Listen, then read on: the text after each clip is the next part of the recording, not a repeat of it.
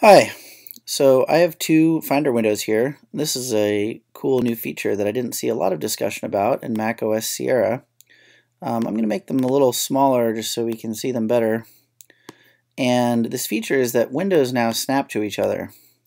So if I take this window right here, um, if you pay attention to my mouse cursor, I'm going to put the mouse cursor right here, and I slowly drag this up or down um, even though I'm dragging it left and right, until I get pretty far, I can even get off the window and continue dragging it, and then it just jumps over eventually.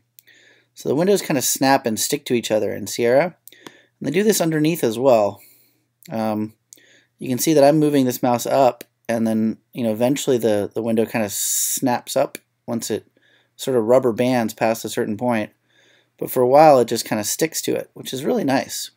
And this even happens with windows of uh, different programs. So if I have Safari here, um, you can see that Safari will actually snap to this background window as well, even though there's another window in front of it. Um, and again, I can get my mouse pretty far before it rubber bands over.